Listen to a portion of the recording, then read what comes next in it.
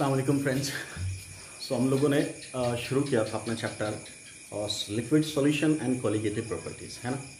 Solution क्या होता था? इसे हम लोगों ने डिफाइन किया था कि solution was nothing but a homogeneous mixture mixture के दो पार्ट होते थे। एक होता था हेट्रोजीनियस दूसरा होता था होमोजीनियस है ना? तो होमोजीनियस मिक्सचर को हम लोग डिफाइन करते थे सॉल्यूशन क्लियर अब डिपेंड करता है कि जो सॉल्वेंट है आपका सॉल्वेंट किसको बोलते थे? दो कंपोनेंट में से मान लीजिए अगर आपका टू कंपोनेंट सिस्टम है तो उसमें से एक कंपोनेंट को हम लोगों ने नाम दिया था सॉल्यूट दूसरे को नाम दिया था हम लोगों ने सॉल्वेंट ठीक? तो सॉल्वेंट किसको बोलते थे? जिसमें हम सॉल्यूट को डिजोल्व करते हैं, है ना? उसको हम लोग बोलते हैं सॉल्वेंट या यूँ कह लीजिए कि जिसका अमाउंट एक्सेस में होता है, जब दोनों कंपोनेंट सेम फ़ेज़ में हो, दोनों लिक्विड हो तो हम लोग बोलते हैं क्या? कि जिसका अमाउंट ज़्यादा है, जिसके नंबर ऑफ़ पार्टिकल्स ज़्यादा हैं, जिसके नंबर ऑफ़ मोल्स ज़्यादा हैं, उसे हम लोग सॉल्वेंट बोलते थे। और जिसका अमाउंट कम होता था, जिसके नंबर ऑफ़ मोल्स कम होते थे, जिसके नंबर ऑफ़ पार्टिकल्स कम होते थे, उसे हम लोगों ने सॉल्यूट बोला था। ये सब बातें हम लोग ऑलरेडी कर चुके हैं। तो एक बार रिकैप फिर से, फिर हम लोग आगे बढ़ेंगे। खैर तो हम लोगों ने सॉल्यूशन डिफाइन किया था। क्या solution is nothing but homogeneous mixture clear अब यहाँ से कि नंबर ऑफ़ कंपोनेंट के अकॉर्डिंग सॉल्यूशन का अलग अलग नाम बोला हमने। अगर दो कंपोनेंट है तो बोला बाइनरी तीन है तो बोला ट्राइनरी या ternary quaternary pentanary and so है ना? अपने सिलेबस में बाइनरी सॉल्यूशंस है।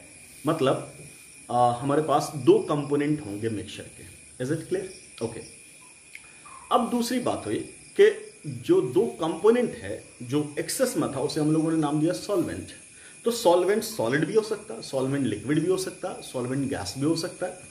अगर सॉलिड सॉल्वेंट होगा, तब उसका नाम देंगे सॉलिड सॉल्यूशन अगर लिक्विड सॉल्वेंट होगा, तब उसे नाम देंगे लिक्विड सॉल्यूशन और अगर गैशियस सॉल्वेंट है, तब उसे नाम दे देंगे गैशियस सॉल्यूशन इसके बेसिस पे भी अगर आप देखेंगे एनसीईआरटी में तो सात आठ कैटेगरी बनाया है। अलग अलग नाम दिया जाता है, कहीं सॉल कहीं जेल कहीं कुछ कहीं कुछ emulsion so we have liquid solution means our solvent will be in liquid phase solute may be either in gaseous phase or in liquid phase or even in solid phase. Clear? हम लोग ये सब चीज़ को deal करेंगे। In fact जब gaseous phase में solute होगा तब उसे हम लोग तब उस टॉपिक में हम लोग देखेंगे हेनरीज लॉ पढ़ेंगे है ना? आ, जब लिक्विड लिक्विड सॉल्वेंट की बात करेंगे तब वहाँ पे हम लोग डिफाइन करेंगे क्या? राउल्ड्स लॉ फिर उसी में हम लोग सॉलिड सॉल्वेंट को भी इंक्लूड करेंगे और फिर देखेंगे relative lowering in vapour pressure वगैरह ये सारी चीज़ें हम लोग डिस्कस करेंगे। खैर तो अभी तक हम लोगों ने सॉल्यूशन के पार्ट में, इस चैप्टर के पार्ट में दो तीन लेक्चर पहले कवर अप किया है, जिसमें हमने कॉन्सेंट्रेशन का पार्ट चूँकि कॉन्सेंट्रेशन इस इस चैप्टर में कॉन्सेंट्रेशन टर्म्स का इंपॉर्टेंट रोल है है ना? हर जगह वो इन्वॉल्व होगा। तो हम लोगों ने पहले ही कॉन्सेंट्रेशन टर्म्स डिस्कस कर लिए हैं। इनफैक्ट ये हम लोगों ने इलेवंथ क्लास में पढ़ा था कॉन्सेंट्रेशन टर्म्स उसको रिवाइज किया हमने पिछले लेक्चर्स में। लाइक कॉन्सेंट्रेशन टर्म्स में पढ़ा था percentage by mass percentage by volume percentage mass by volume parts per million parts per billion molarity normality molality mole fraction etcetera ये सारी चीज़ें हम लोगों ने ऑलरेडी डिस्कस किया हुआ है। सो so, एक पार्ट इस चैप्टर का हम लोगों ने कंप्लीट किया था। That was concentration terms means concentration of solution अब हम लोग वापस आ रहे हैं इस चैप्टर में फिर से, कि ठीक है साहब, अब हम लोगों को जो डिस्कस करना है, वो देखना है कि साहब वेपर प्रेशर क्या होता, है ना? सॉल्यूट डालने के बाद वेपर प्रेशर में क्या फ़र्क आएगा? बॉइलिंग पॉइंट में क्या फ़र्क आएगा लिक्विड के, है ना? फ्रीजिंग पॉइंट में क्या फ़र्क आएगा? इन सबको मिला करके एक टॉपिक ही क्रिएट होता है that is called colligative properties है ना? तो ठीक है, अब अपना जो चैप्टर है दैट इज़ लिक्विड सॉल्यूशन तो लिक्विड सॉल्यूशन बनेगा कैसे? तो इनफैक्ट वहाँ पे एक सॉल्वेंट होगा, जो लिक्विड फ़ेज़ में होना मस्ट है। सॉल्यूट आपका मैंने बोला सॉलिड हो सकता है लिक्विड हो सकता है गैस हो सकता है बट सॉल्वेंट का लिक्विड फ़ेज़ में होना मस्ट है, तभी इसको हम लोग नाम देंगे क्या? Liquid solution so in fact we have liquid solution which is form by two components one of which is solvent and another is solute. अब मैंने क्या बोला? ये सॉल्वेंट का लिक्विड फ़ेज़ में होना मस्ट है। लिक्विड के अलावा कोई और फ़ेज़ नहीं हो सकता। अगर कोई और फ़ेज़ हुआ तब उसे हम लोग लिक्विड सॉल्यूशन का नाम नहीं देंगे। क्लियर है? सो so, क्या बोल रहे सॉल्वेंट क्या होना चाहिए? Always it must be always in liquid state clear अब बात बची सॉल्यूट की तो आपका सॉल्यूट अलग अलग फेजेस में हो सकता है। It may be in solid state it may be in liquid state it also may be in gaseous state is it clear clear solute अलग अलग फेजेस में पॉसिबल है। अलग अलग फेजेस में हो सकता है। ठीक है? इतनी बात समझ में आ रही है? क्लियर शायद यहाँ पे आपको दिख नहीं रहा होगा, इसके नीचे जो है, वो दिख नहीं रहा। एक बार मैं फिर से कैमरा देख लेता हूँ। है ना फिर ठीक करता हूँ इसको। हाँ दिख रहा है। दिख सो ठीक है कवर अप हो रहा पूरा वीडियो हाँ तो हमने क्या बोला कि सॉल्वेंट अपना क्या होना चाहिए? ऑलवेज लिक्विड स्टेट में होना ठीक है? तो सबसे पहली बात, जो अपना सॉल्वेंट है, वो लिक्विड है। तो सबसे पहली बात लिक्विड की प्रॉपर्टी को ही हम लोग डिस्कस कर रहे हैं थोड़ा सा। इनफैक्ट इलेवेंथ क्लास में आपका चैप्टर था states of matter states of matter में आपने बेसिकली पढ़ा था गैशोस स्टेट गैशोस स्टेट के बाद कंप्रेशन ऑफ़ गैस पढ़ा। जिसके बाद आपका एक टॉपिक नया आया था लिक्विड स्टेट और लिक्विड स्टेट में ही आपने पढ़ा था अलग अलग topic that was boiling point क्या होता है लिक्विड का वेपर प्रेशर क्या होता है लिक्विड का, है ना? सरफेस टेंशन क्या होता है विस्कोसिटी क्या होता है? ये सब इलेवेंथ क्लास में आपने ऑलरेडी डिस्कस किया है, पढ़ा हुआ है। तो यहाँ पर हम एक और चीज़ देखेंगे कि कोई भी लिक्विड है इनफैक्ट मान लीजिए एक कंटेनर आपके पास, इस कंटेनर में आपके पास लिक्विड है। तो अगर हम देखें, इस लिक्विड की क्या प्रॉपर्टी होगी? कोई भी लिक्विड आप ले लो। थोड़ी देर के बाद आप एक घंटे, दो घंटे, चार घंटे, एक दिन, थोड़ा टाइम दो। आफ्टर सम टाइम आप क्या ऑब्ज़र्व करेंगे? ऑब्जर्वेशन क्या आपका? वो मैं बता रहा हूँ।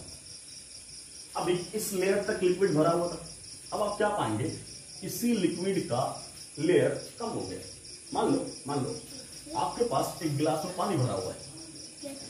आप उस पानी को छोड़ दो दस दिन के लिए। अब क्या देखेंगे? दस दिन बाद गिलास में पानी कम हो गया। या जनरल ऑब्जर्वेशन में आपको बताता हूँ कि गाँव में तालाब होते हैं। या शहर में भी छोटे छोटे नाले होते हैं छोटा छोटा गड्ढा होता है। गड्ढा में पानी भर गया।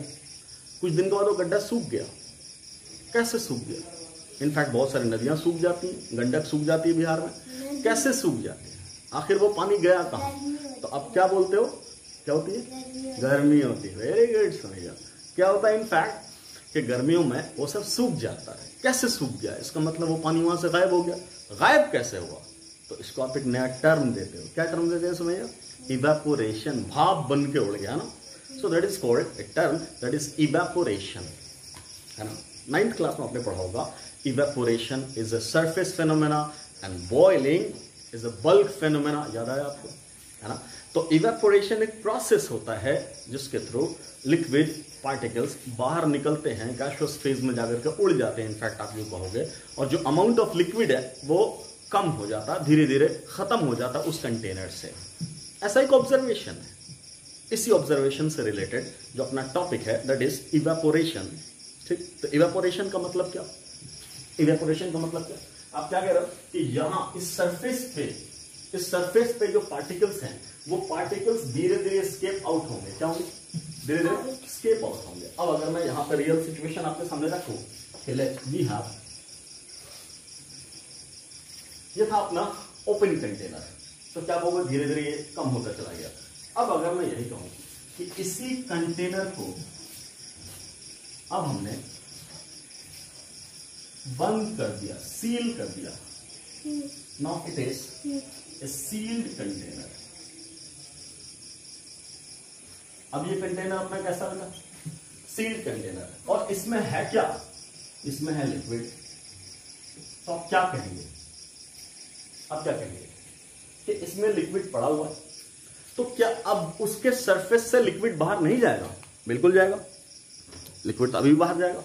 तो ये अपने सरफेस को छोड़ेगा। क्लियर तो इस सरफेस से लिक्विड बाहर स्केप आउट हुआ। क्लियर जब ये स्केप आउट होगा तो पहले तो खुला था। तो ओपन इन्वायरमेंट में रैंडमली मूव करके कहीं और चला गया। लेकिन अब तो ये बंद है। तो अब ये बंद है तो कहाँ जाएगा? तो हो सकता है ये यहाँ से मूव कर रहा है और इसका कोलिजन हुआ इस वॉल के साथ। है ना? तो कोलिजन के बाद क्या होगा? फिर ये किसी और तरफ़ मूव कर जाएगा। तो हो सकता है कि वो यहाँ मूव कर गया। और फिर उस कोलिजन के बाद हो सकता है कि साहब वो नीचे ही आ गया। या ये भी हो सकता है यहाँ से यहाँ चला जाए, कितनी बार कोलाइड करेगा। मतलब after certain number of collision finally ये फिर से अंदर इंटर करेगा। क्या इतनी बात समझ में आई? एक पॉसिबिलिटी है कि ये यहाँ वापस लिक्विड फ़ेज़ में, इस बल्क में इंटर करे।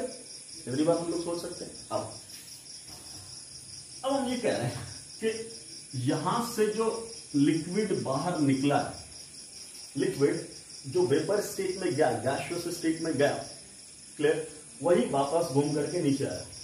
ठीक है? तो पहले क्या होगा कि लिक्विड ही लिक्विड था। वेपर स्टेट में पार्टिकल्स क्या थे? थे तो इस सरफेस पर से बहुत सारे मॉलिक्यूल्स इकट्ठा निकलेंगे। मान एक बार में एक हज़ार मॉलिक्यूल्स निकले, एक हज़ार पार्टिकल्स निकले, ठीक? एक हज़ार पार्टिकल ऊपर गए तो हो सकता है कि 900 पार्टिकल्स वापस नीचे आ गए। 100 पार्टिकल अभी ऊपर ही घूम रहे ट्रैवल कर रहे उतने में फिर एक हज़ार मॉलिक्यूल निकल गए ऊपर। हम क्या बोलेंगे कि यहाँ से ऊपर तो जा रहा है, ठीक? तो ये जो प्रोसेस हुआ लिक्विड से वेपर क्या हो रहा है? पहला प्रोसेस क्या है? लिक्विड से कहा जा रहा है? वेपर स्टेट में कहा जा रहा है? वेपर स्टेट में ठीक? और फिर वेपर से फाइनली वो कहा हो गया? कोलिजन करके लिक्विड स्टेट में मतलब there is a reversible process liquid state से कहा गया? वेपर स्टेट में और वेपर स्टेट से फिर कहा गया? लिक्विड स्टेट में तो अगर एक साइड से प्रोसेस चलता है in one direction only then it is called irreversible process but here we observe there is two way process therefore it is called reversible process clear है? क्या बोल रहे लिक्विड स्टेट से वेपर स्टेट में गया। ठीक, अगर वेपर स्टेट में ही चला जाता लिक्विड स्टेट में वापस नहीं आता तो हम बोलते वन वे प्रोसेस हुआ वन डायरेक्शनल प्रोसेस हुआ। और अगर ये वन डायरेक्शनल प्रोसेस होता तो इसे हम लोग इरिवर्सिबल प्रोसेस का नाम देते लेकिन यहाँ क्या बोल रहे हैं? और कंटेनर इज़ क्लोज तो क्लोज कंटेनर होने की वजह से ये रिवर्स वापस भी आएगा। वेपर स्टेट से लिक्विड स्टेट में भी एंट्री हो रही है इसकी। तो हम क्या बोलेंगे? टू वे प्रोसेस है। अगर इन दोनों को आप ऑब्ज़र्व करेंगे कीनली तो आप क्या बोलेंगे? लिक्विड का वेपर स्टेट में जाना इज़ कॉल्ड इवेपोरेशन प्रोसेस और वेपर स्टेट से लिक्विड स्टेट में आना, इसे हम लोग बोलेंगे condensation process so we can call there is two different process at the same time इसको क्या बोल रहे? इवेपोरेशन और इसे क्या बोल रहे? कंडेंसेशन तो आप क्या कहोगे? कि पार्टिकल्स लिक्विड से वेपर स्टेट में भी जा रहे हैं और वेपर से लिक्विड स्टेट में भी आ रहे हैं। दोनों प्रोसेस साथ साथ चल रहा है। अब एक बात। यार हम शुरू की बात करें तो शुरुआत में वेपर स्टेट में तो पार्टिकल ही नहीं था। अब याद करो इलेवेंथ में चैप्टर पढ़ा आपने केमिकल इक्विलिब्रियम इक्विलिब्रियम चैप्टर पढ़ा आपने। क्या होता था वहाँ? वहाँ रिएक्टेंट से प्रोडक्ट में सब्सटेंस कन्वर्ट होता था। रिएक्टेंट से प्रोडक्ट की तरफ़ मूव किया, ठीक? लेकिन अगर रिएक्शन का नेचर रिवर्सिबल था तो आपने क्या बोला? थोड़ी देर के बाद एक कंडीशन डेवलप कर जाती है, जिसे आप बोलते हैं इक्विलिब्रियम क्या होता था इनफैक्ट उस इक्लिब्रियम पे? तो आप बोलते थे उस इक्विलिब्रियम पे फॉरवर्ड का फॉरवर्ड का रेट और बैकवर्ड का रेट बराबर हो गया। In fact what was forward and backward तो क्या बोलता, क्या बोला था आपने? कि पहले क्या था कि रिएक्टेंट जाता था प्रोडक्ट साइड में। ठीक? तो चूँकि इसके पार्टिकल ज़्यादा थे इनफैक्ट यही था originally at time T is equal to zero तो इनफैक्ट आपके पास यही नंबर ऑफ़ पार्टिकल्स थे ना। ये तो ज़ीरो था। तो प्रोडक्ट में जब कुछ है ही नहीं तो वापस आएगा क्या? तो पहले क्या स्टार्ट हुआ? रिएक्टेंट से प्रोडक्ट की तरफ़ मतलब फॉरवर्ड प्रोसेस स्टार्ट हुआ। लेकिन थोड़ी देर के बाद मान लो मैंने नंबर ले लिया सौ। सौ के बाद थोड़ी देर के बाद टी प्राइम है। उसके अगर ये 90 पार्टिकल बच गए और यहाँ 10 पार्टिकल बने तो मैंने क्या बोला कि अगर इसका नेचर रिवर्सिबल है तो ये 10 पार्टिकल में से कुछ पार्टिकल क्या होगा? वापस आएगा। और अगर वापस आएगा तो यहाँ फॉरवर्ड वाला तो प्रोसेस है ही। बैकवर्ड वाला प्रोसेस जस्ट स्टार्ट होगा। ये सब तो अब क्या बोल रहे हैं? अब इसको बोल रहे हैं रिवर्सिबल प्रोसेस क्या बोल रहे हैं? रिवर्सिबल प्रोसेस नो डाउट इसके नंबर ऑफ़ पार्टिकल्स घट गए। घट गए तो इसका rate rate of forward process कम होगा। तो ऑब्वियसली इसका एरो का साइज़ ऊपर वाले से मैंने छोटा कर दिया। ये सब चीज़ें हम लोग इलेवेंथ क्लास में डिस्कस कर चुके हैं। लेकिन ये सब चीज़ें हम लोग पढ़ते थे। तो यही तो होता था ना रिवर्सिबल प्रोसेस कि फॉरवर्ड के जाने का रेट कम हो रहा है। बैकवर्ड जस्ट स्टार्ट हुआ। थोड़ी देर और बात बात करोगे। टी डबल प्राइम पे अब क्या होगा? तो बोलेंगे यहाँ 80 बच गए और यहाँ 20 अगर हो गए तो बोलेंगे फॉरवर्ड का रेट थोड़ा और कम हो गया। बैकवर्ड का रेट थोड़ा और बढ़ गया। और इसके बाद एक जस्ट वक्त आता है, जहाँ पे रेट ऑफ़ फॉरवर्ड रिएक्शन और रेट ऑफ़ बैकवर्ड रिएक्शन दोनों बराबर होता था। और उसी स्टेज को हम लोग नाम देते थे इक्विलिब्रियम क्या यहाँ भी सेम वैसा ही सिचुएशन डेवलप नहीं हो रहा? कि आपके लिक्विड स्टेट से पार्टिकल वेपर स्टेट में जा रहे हैं। क्लियर और चूँकि कंटेनर आपका क्लोज है तो वापस इस कोलिजन के बाद लिक्विड स्टेट में आ रहा है। तो लिक्विड से वेपर में जा रहा मींस देर इज़ इवापोरेशन और वेपर स्टेट से लिक्विड स्टेट में वापस आ रहा means there is condensation means there is reversible process clear evaporation भी हो रहा है कंडेंसेशन भी हो रहा है। इनफैक्ट शुरुआत में आपके पास लिक्विड ही स्टेट में मॉलिक्यूल है। आप क्या बोलेंगे? रेट ऑफ़ इवेपोरेशन है। लेकिन वेपर स्टेट में पार्टिकल था ही नहीं शुरुआत में। तो हम क्या बोलेंगे? कंडेंसेशन का रेट क्या है? ज़ीरो लेकिन after some time what will you observe sir rate of evaporation is decreasing and rate of condensation is increasing and after equilibrium और just at equilibrium what will be the situation तो आप क्या कहेंगे कि equilibrium condition पे rate of evaporation और rate of condensation दोनों बिल्कुल बराबर हो चुका है। क्लियर इज़ इट क्लियर तो क्या कहेंगे? At at equilibrium point at equilibrium position और आफ्टर इक्विलिब्रियम पोजीशन मतलब इक्विलिब्रियम आने के बाद हमेशा के लिए एक चीज़ क्या तय हो जाएगी कि रेट ऑफ़ इवेपोरेशन और रेट ऑफ़ कंडेंसेशन दोनों बिल्कुल बराबर हो जाएगा। मतलब पार्टिकल जितना नीचे से ऊपर जा रहा है, उतना ही ऊपर से नीचे आएगा और ये प्रोसेस फिक्स हो जाएगा। क्लियर क्लियर इक्विलिब्रियम के बाद rate of forward and rate of backward, both reaction becomes equal so same is the situation here कि यहाँ पे इवेपोरेशन और कंडेंसेशन का रेट बेटा इक्वल हो गया। ठीक है? इसका मतलब क्या हुआ? इसका मतलब ये है कि अब वेपर स्टेट में नंबर ऑफ़ पार्टिकल्स के बढ़ने का चांस नहीं है। कब तक? जब तक टेम्परेचर कांस्टेंट है। Because equilibrium constant depends on temperature only we know it clear तो हम कह रहे हैं, एक फिक्स टेम्परेचर पे इवेपोरेशन हुआ पार्टिकल्स धीरे धीरे लिक्विड स्टेट से गैशियस स्टेट में गए। बढ़ते बढ़ते वेपर स्टेट में अच्छे खासे पार्टिकल हो गए। अब वहाँ इंक्रीमेंट हो ही नहीं रहा है। अब यहाँ पे एक बहुत अच्छा सा सवाल आता है। ये क्रॉस क्वेश्चन आप पूछ सकते हो कि सर आपको यह कैसे पता चला कि number of particles vapour state में अब नहीं बढ़ रहे हैं? ये किसने आपको बताया? कि वेपर स्टेट में जितने नंबर ऑफ़ पार्टिकल थे, एक फिक्स टाइम के बाद वो कांस्टेंट हो गया। ये कैसे पता चला? तो इसके लिए एक्सपेरिमेंट किया जाता है। क्या? कि आपका कंटेनर है, ये सील्ड सील्ड कंटेनर है, यहीं पे साइड में आप मैनोमीटर लगा दें। यहीं पे यहीं पे साइड में। आप मैनोमीटर लगा दें। मतलब जहाँ से प्रेशर नापा जाए। और यहाँ आप मरकरी फिलअप कर दो। तो जब आप मरकरी फिलअप कर देंगे तो क्या देखेंगे कि ये जो वेपर स्टेट में पार्टिकल आया तो इस मरकरी ट्यूब में, यहाँ जो ट्यूब में मरकरी है उसको ये प्रेशराइज करेगा, धक्का देगा, और धक्का देते देते ये वाला पार्टिकल ऊपर चढ़ेगा।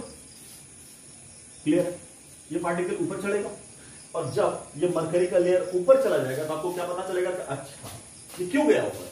इसका मतलब यहाँ से कुछ पार्टिकल आए, उन्होंने इसको पुश किया, जब नीचे पुश हुआ तो ये ऊपर भागा। ठीक? और कुछ वक्त के बाद हमें यह दिख रहा है कि अब ये मरकरी का लेवल ऊपर जा ही नहीं रहा। तो अब आखिर क्यों नहीं जा रहा? क्या ऐसा हो गया कि अब तो एक घंटा, दो घंटा, तीन दिन, चार दिन भी देख लिया, हमने जा ही नहीं रहा ऊपर। आखिर हुआ क्या? अब क्या बोलेंगे? इसका मतलब अब ये नेट प्रोसेस ज़ीरो हो गया। नेट प्रोसेस ज़ीरो का मतलब क्या? जितने पार्टिकल नीचे से ऊपर जा रहे थे, उतने पार्टिकल्स ऊपर से भी नीचे आ रहे होंगे, तभी तो ये ज़ीरो हो गया। नेट इफ़ेक्ट इज़ ज़ीरो अब कोई नेट इंक्रीमेंट नहीं है। किसमें वेपर स्टेट में किसका? पार्टिकल्स का। इसका मतलब इसका मतलब यही रीजन है कि अब ये मरकरी का लेवल फिक्स हो गया।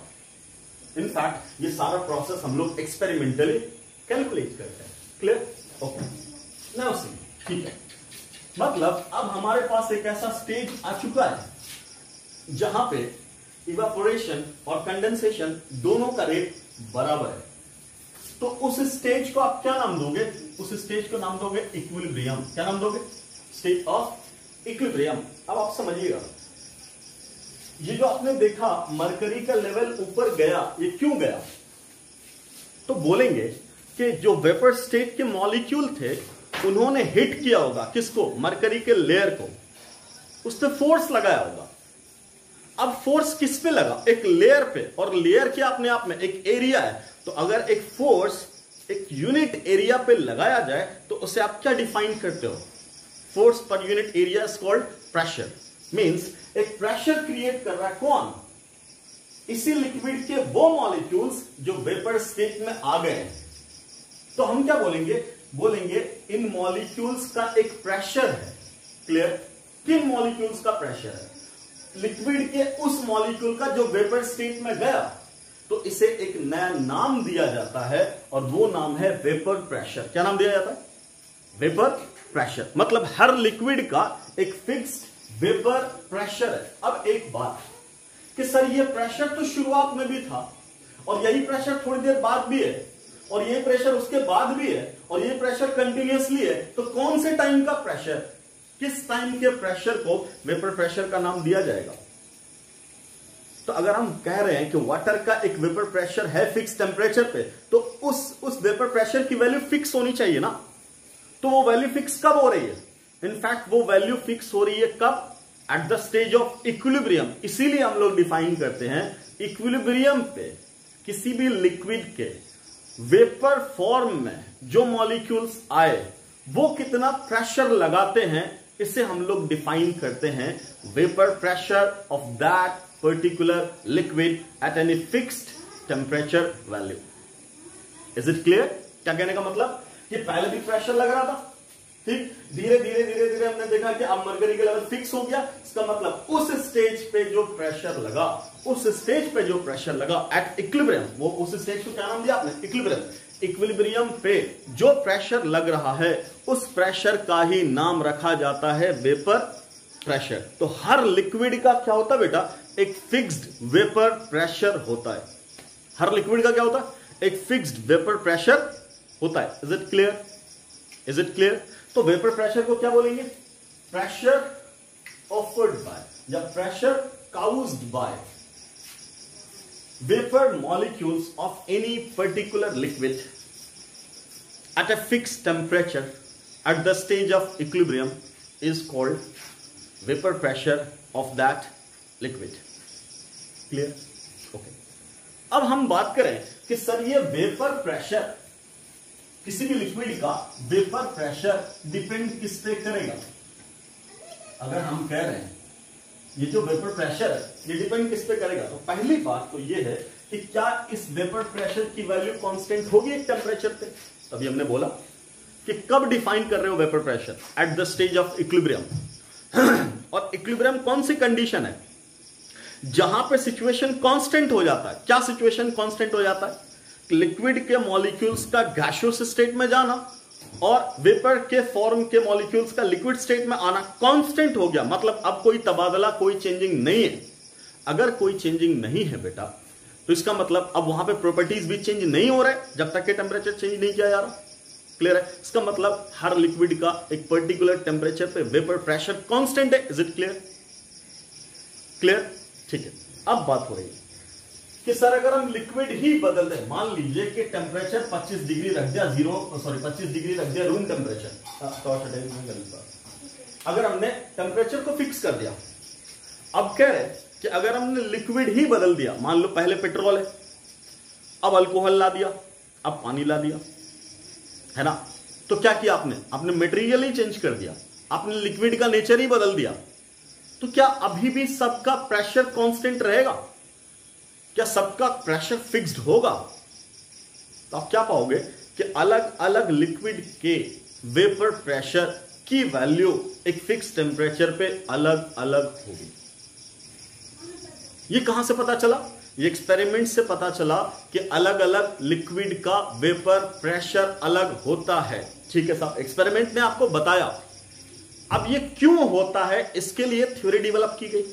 कि साहब कि हर लिक्विड का एक फिक्स वेपर प्रेशर है। सारे लिक्विड का वेपर प्रेशर एक ही क्यों नहीं है? क्यों अल्कोहल का वेपर प्रेशर और पानी का वेपर प्रेशर अलग अलग है? क्यों अलग अलग है? तो क्या बोला जा रहा है? अलग अलग जो पार्टिकल्स हैं मटेरियल हैं, उनका स्ट्रक्चर अलग अलग होगा। उसकी बनावट अलग अलग होगी। मान लीजिए कि हमारे पास वाटर है तो वाटर का वाटर की बनावट क्या है? तो बोलेंगे ऑक्सीजन है। ऑक्सीजन के साथ हाइड्रोजन है और अगला भी हाइड्रोजन है। So this is H two O clear ठीक। अल्कोहल है। अल्कोहल होने का मतलब क्या? If we have O there is R there is H what is R carbon chain alkyl group there में भी CH3 देर में भी C2H5 एंड सो ऑन कुछ भी अल्काइल कार्बन ठीक है सर तो क्या वाटर और अल्कोहल दोनों एक टाइप की चीज़ है? नहीं, बिल्कुल नहीं। दोनों अलग अलग चीज़ें, क्या अलग अलग चीज़ें हैं उसके अंदर? अब जरा देखो बेटा ठीक से। क्या अगर वाटर की बात करेंगे तो क्या बोलेंगे, इस वाटर में आपके पास एक ऑक्सीजन है? तो सर, यही ऑक्सीजन तो अल्कोहल में भी है। ओके। इसके पास हाइड्रोजन है तो यही हाइड्रोजन तो अल्कोहल में भी है। वेरी गुड तो कितना चीज़ आपको कॉमन मिला? तो बोलेंगे, एक ऑक्सीजन और एक हाइड्रोजन मिला कॉमन ठीक है सर, यहाँ भी एक ऑक्सीजन और एक हाइड्रोजन मिला कॉमन मतलब इन दोनों का जो इफ़ेक्ट होगा सेम होगा सेम है। मैंने इसको काट दिया। मान लो कि अगर इसका इफ़ेक्ट सेम है, हमने काट दिया। अब क्या बचा? तो अब वाटर में बचा एक हाइड्रोजन और अल्कोहल में बचा एक अल्काइल ग्रुप क्या इस हाइड्रोजन और इस अल्काइल ग्रुप का नेचर सेम होगा? बिल्कुल नहीं। क्यों नहीं होगा? बिकॉज़ ये हाइड्रोजन तो हाइड्रोजन बॉन्डिंग बना सकता है। ये अगले वाटर मॉलिक्यूल के साथ जुड़ करके हाइड्रोजन बॉन्डिंग बनाएगा। लेकिन क्या ये अल्काइल ग्रुप हाइड्रोजन बॉन्डिंग बना सकता है? नहीं सर, ये हाइड्रोजन बॉन्डिंग में पार्टिसिपेट नहीं करता। क्यों? क्योंकि हाइड्रोजन बॉन्डिंग में कौन पार्टिसिपेट करता? हाईली इलेक्ट्रोनिगेटिव एलिमेंट्स जो हाइड्रोजन के साथ डायरेक्टली जुड़े होते हैं। दो ऑक्सीजन नाइट्रोजन और फ्लोरिन यही तीन आइटम है जो हाइड्रोजन बॉन्डिंग शो करता। ओके ठीक है। तो हम क्या बोल रहे हैं? के साथ कार्बन हाइड्रोजन बॉन्डिंग शो नहीं कर रहा अलगा ग्रुप हाइड्रोजन बॉन्डिंग शो नहीं कर रहा तो अल्कोहल में हाइड्रोजन बॉन्डिंग शो करने वाले कितने पार्ट आपको मिले? तो आप क्या बोलोगे? कि सर, एक तो हाइड्रोजन मिला, दूसरा ऑक्सीजन मिला। ठीक? यहाँ हाइड्रोजन बॉन्डिंग शो करने वाले कौन मिला? दो हाइड्रोजन मिला और एक ऑक्सीजन मिला। तो हाइड्रोजन बॉन्डिंग का एक्सटेंट अगर आपसे पूछा जाए, कहाँ ज़्यादा है तो आप बोलेंगे, वाटर में एक्सटेंट ऑफ़ हाइड्रोजन बॉन्डिंग ज़्यादा होगा अल्कोहल के मुकाबले में। इतनी बात क्लियर है? अब आइए वापस। कि sir what is hydrogen bonding hydrogen bonding होता क्या इनफैक्ट तो हम लोगों ने इलेवेंथ क्लास में पढ़ा है हाइड्रोजन बॉन्डिंग के बारे में। आप पढ़ते थे वहाँ पे बॉन्ड तो दो टाइप की बॉन्डिंग की बात होती थी। एक को हम लोग बोलते थे प्राइमरी बॉन्डिंग और एक को बोलते थे सेकेंडरी बॉन्डिंग प्राइमरी बॉन्डिंग में बात होती थी आयनिक बॉन्ड की इलेक्ट्रोवेलेंट बॉन्ड या कोवेलेंट बॉन्ड या कोऑर्डिनेट बॉन्ड ऐसे बॉन्डिंग का नाम देते थे हम लोग प्राइमरी बॉन्ड सेकेंडरी बॉन्ड में नाम देते थे hydrogen bond van der Waals force dipole dipole attraction dipole induce dipole induce dipole induce dipole London force ये